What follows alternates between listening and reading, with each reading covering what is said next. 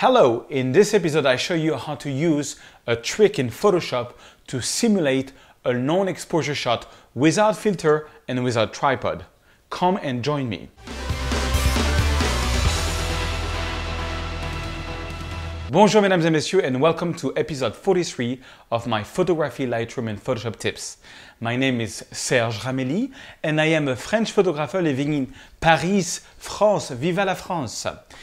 Hello guys, I'm back from Israel where I shot over 1200 photos and I will publish some in the next days. I love that country. It's beautiful. It's the first time I've been there and it's really great. And I actually want to show you a trick. Um, two weeks ago, I showed a photo of Montmartre and uh, a way to use a clone and stamp tool to take people out using layer and masking. And people has been writing in a comment saying, hey, there is a much easier trick try using the stack modes in Photoshop and the smart object. And I was like, what? What's the stack modes? What's the smart object? I didn't know nothing about it. So I watched a few tutorials on it and I'll show you a trick that will speed up a lot the processing of taking out tourists. And I further investigated the stack mode and found another way we can use them to simulate long exposure. The whole idea is this, you're in front of a waterfall and you only have your camera. You have no tripod and you don't have an ND filter to make a long exposure. Well, you can just put your camera in manual mode, stand there and take like 10, 12 shots of very sharp shots, each of them, and then use the stack mode to simulate the long exposure. But let me show you how this is done. Okay, before we get into this tip of this week, I want to show you something that uh, uh, two weeks ago, I, I showed you how to use a clone stamp tool to take people out of a photo. And I, I did that with layers.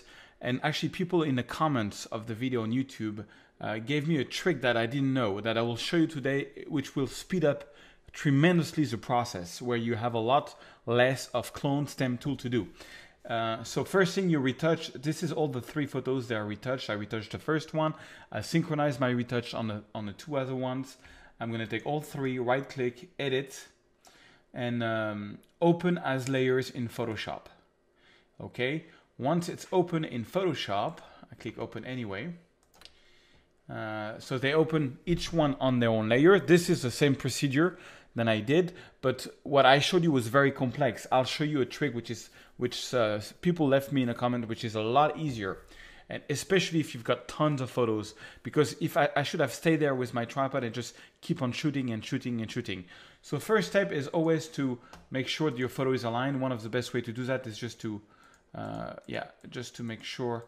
If you have some doubt you just click on all three photos. You go to uh, edit auto align layers.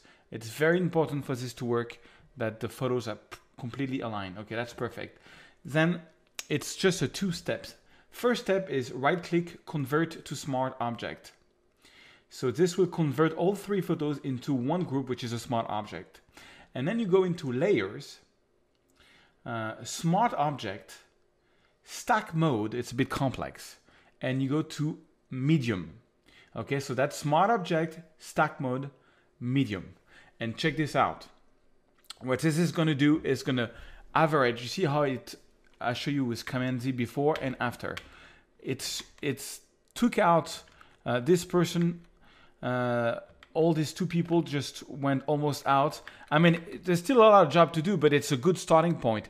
And the thing is, if you keep on taking photos and photos and photos, eventually you can use this technique and you take everybody out. So two step. First, first step is if I go back, is just to take all your photos, align them, convert them into a smart object, and then use this stack mode. I think that only works with Photoshop CS5 Extended or Photoshop CS6. Now, then I got interested into the stack mode and I want to show you something else. That's the main tutorial for today. So Command W, I'm gonna not save this, but that was just a little trick. Um, I'll show you a way where you can, um, if if you want to do some long, long exposure shots and you don't have an ND filter and you're in front of a river or something, this is a trick where you can approach it. It's not, a, it's not perfect, but it's so easy to do. Uh, the whole idea is that I, I took this waterfall and I took, um, well, a whole bunch of photos of it. And I was not with a tripod, it was handheld. And so I took uh, in manual mode so that every shot had the same exposure. So all I have to do now is correct just one shot.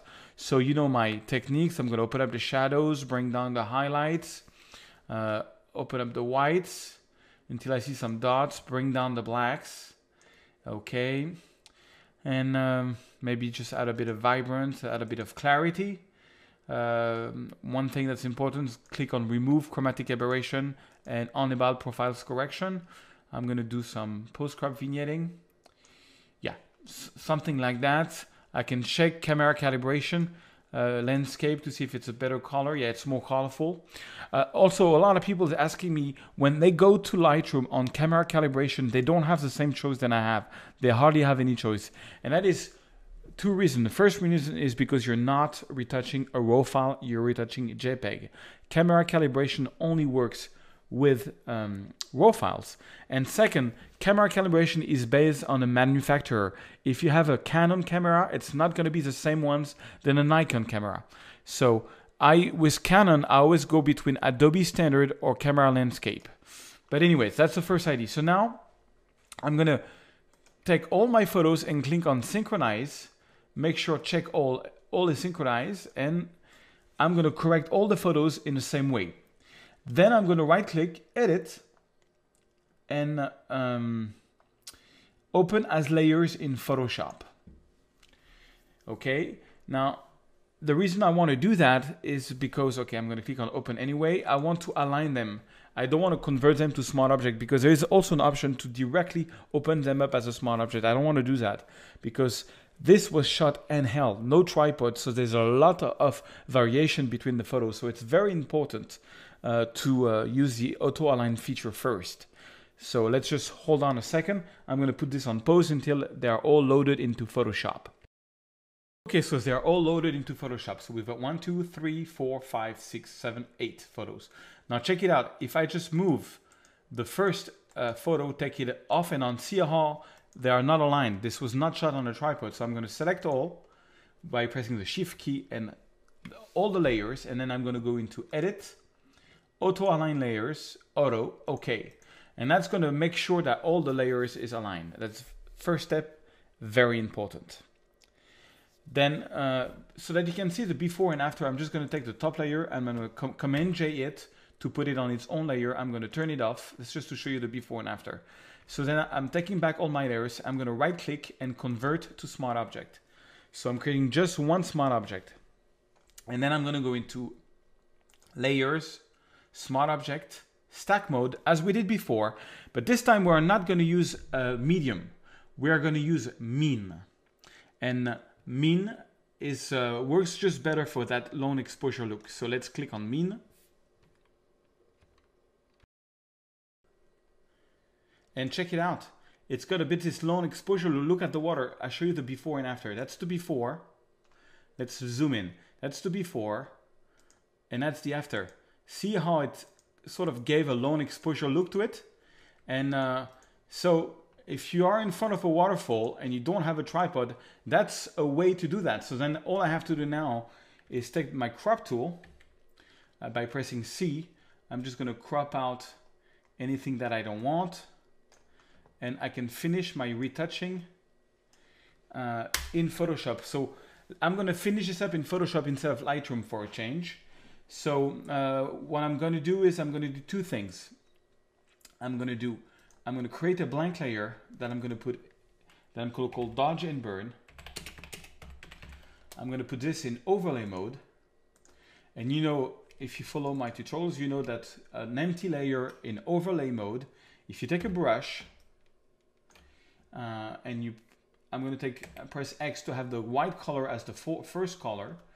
Then I'm going to go into um, I'm to go into uh, opacity and make it around 20%, something like that. Okay, and now, and now, I'm going to paint with white uh, on the water just to make it pop a little bit more. Okay, I'm to, it's going to help simulate this, this effect. Now, as you can see, I'm exaggerating it and you can really see the lines here. Okay, I'm just doing it really fast and uh, and voila. Now this looks awful. You see that's before and after. And then what I'm gonna do is I'm gonna go and um, go into filter, blur, Gaussian blur, and I'm gonna blur the hell out of that, of this brush strokes so that they cannot be seen. So 106 yeah, pixels, something like that.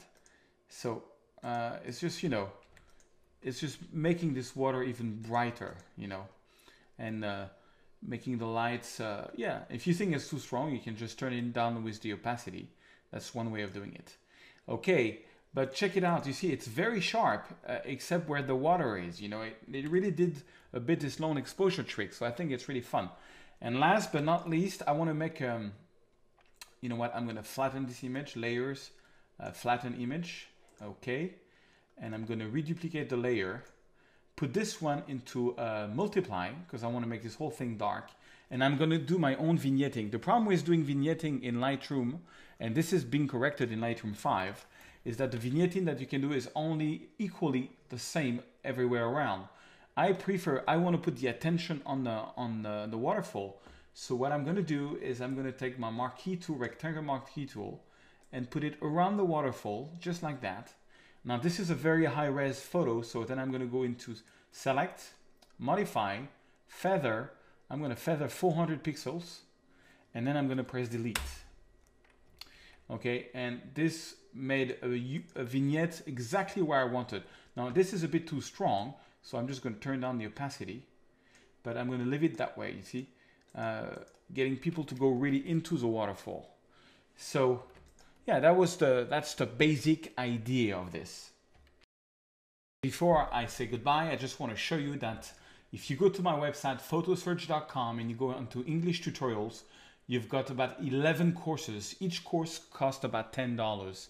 And if you, for example, Lightroom 4 retouching, if you click on the course, you will come to a new page that's going to give you exactly what you get for this $10. All the before and afters. Uh, so you can really see like that's all the before and afters. That is one, two, three, four, five projects. Um, and you will get all the raw files. It's about two hours of video. That's just one course for $10. So for example, for Lightroom, I've got the Lightroom 4 Quick Start. The, the Lightroom 4 Quick Start is just a two hours course that will get you started in all the modules of Lightroom. Importing photos, retouching your photos, uh, making books, making websites, everything. The whole shabam.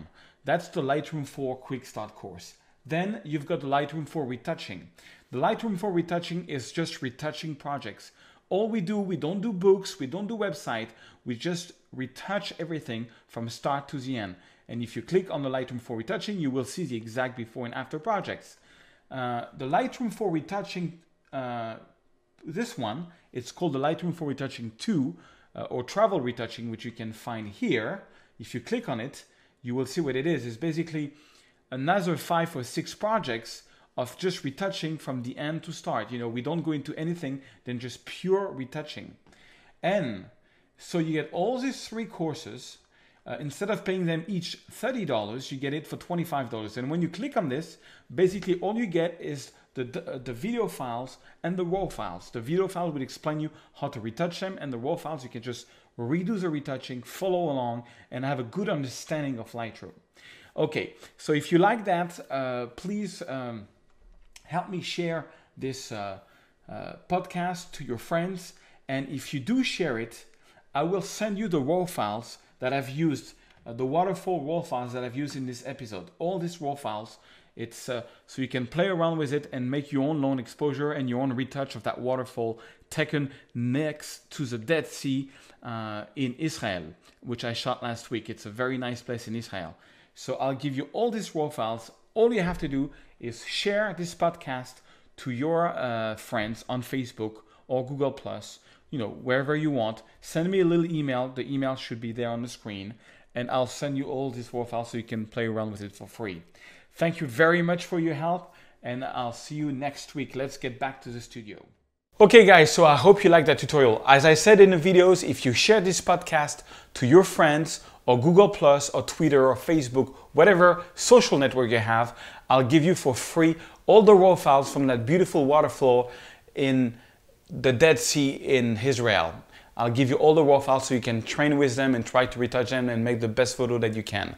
Thank you very much for your help and I'll see you next week. Au revoir.